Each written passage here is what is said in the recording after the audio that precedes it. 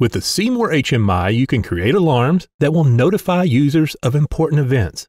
These alarm events can then be logged into a CSV file so that you can use the information to investigate and troubleshoot your issues. This is a good all-purpose data logging collection method. The CSV file that collects this data is by default stored in SD1, but this location can be changed by opening up your panel manager here and then changing this setting. A new alarm file is created each day.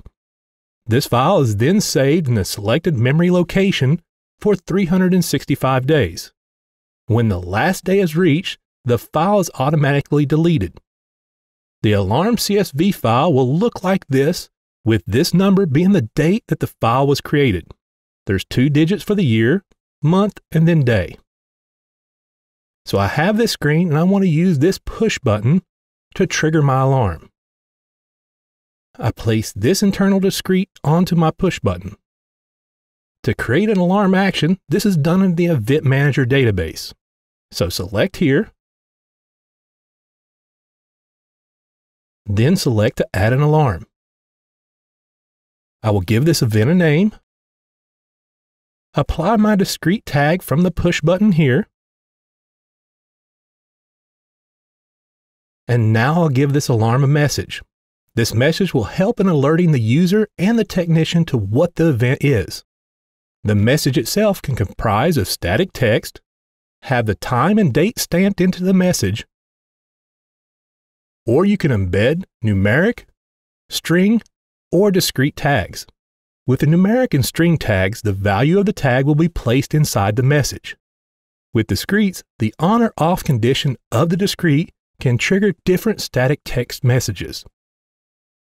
If you want to have this alarm to display an alarm object, select this option. Alarm objects include the alarm banner, the alarm list object, or the alarm screen. If you want to have this message require confirmation, select this option.